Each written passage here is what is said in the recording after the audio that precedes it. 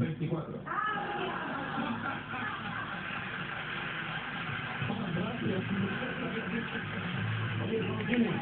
Bueno, mira, ahora el tema personal. Eh, que quede muy claro, Laura canta